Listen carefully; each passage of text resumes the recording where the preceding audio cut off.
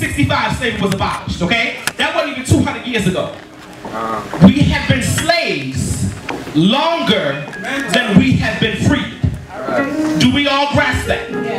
So it is going to be a long, amazing, tiring journey so we get to the place that we need to be.